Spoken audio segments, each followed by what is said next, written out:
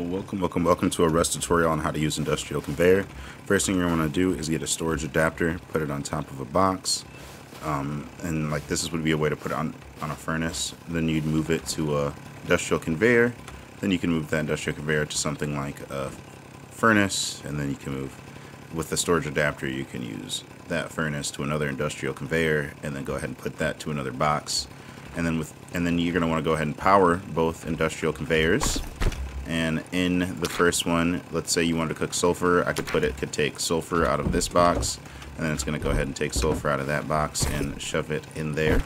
And then I could have it taking cooked sulfur out of this and putting it in there.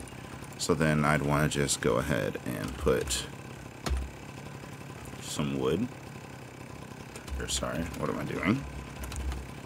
Wood like so in here or if I wanted to actually, you know, use the furnace really good, I could also grab wood.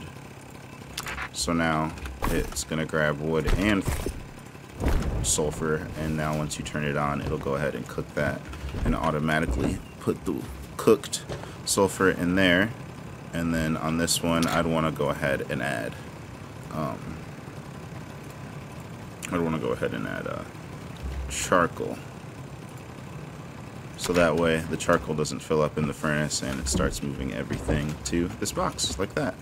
Um, if you have any questions, comments, or concerns, leave them down below. Other than that, my friends, this has been a Rust tutorial. Thank you so much for watching. Like it.